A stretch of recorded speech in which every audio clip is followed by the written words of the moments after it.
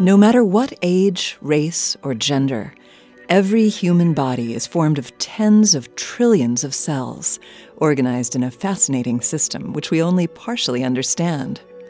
Funded by the NIH, the Human Biomolecular Atlas Project, or HuBMAP, is a multidisciplinary research effort by over 200 experts in more than 50 institutions. Its goal? To create a map of the human body at single cell resolution, a feat never accomplished before. HuBMAP's a really exciting project.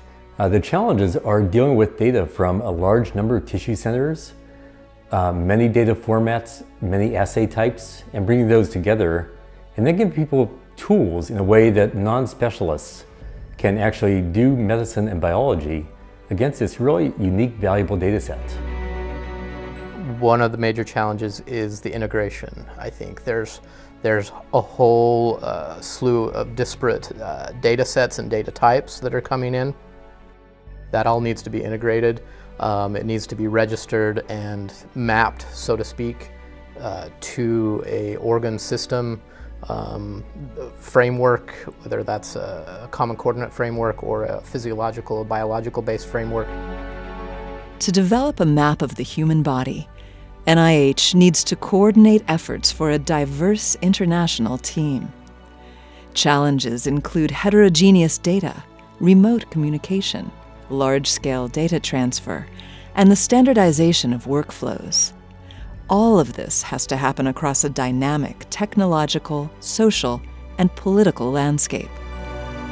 To put together a whole piece of product um, that we can deliver to the community and make them understandable to the general public uh, while everything is somewhere in the middle of, of, of changing is, is very difficult. At this point, we have 18 funded groups that we have to try to pull everybody together, get everyone coordinated and on the same path towards similar goals. Each group has a superpower. Capturing cells in spatial, three dimensional detail will help us bring together knowledge distributed across multiple disciplines.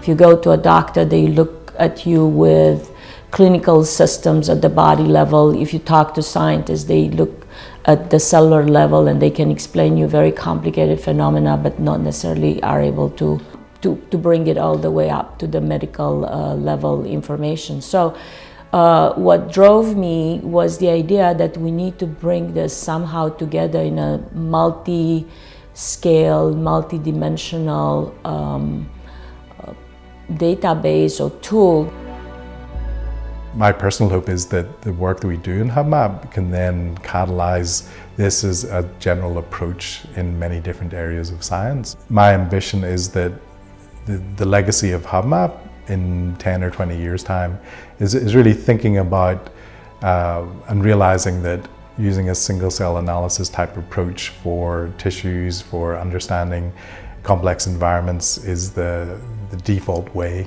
in which science is done. So we're building a map on healthy human tissue, but ultimately this is going to be, we think, a model for what could be used for a human disease. What does it look like when things go wrong? So to have a nice, if you will, reference map that uh, is incredibly high detailed on a, on a healthy person, it's really going to help us understand what happens when things go wrong, when disease appears. The need for a common language between several highly specialized disciplines prompts HuBMAP to become a catalyst for innovation and collaboration. Our need for knowledge has prompted many notable scientific advancements in the past. So, our HuBMAP members are part of a great tradition, and they are only getting started.